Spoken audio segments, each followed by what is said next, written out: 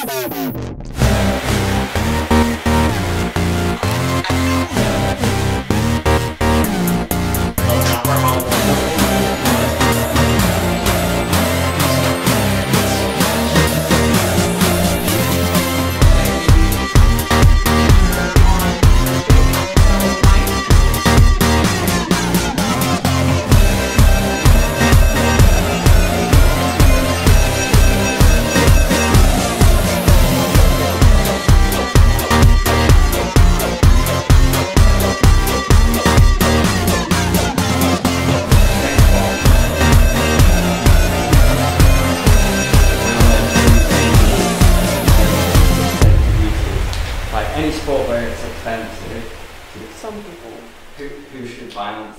Okay, so we're going to take a moment and we're going to You like it.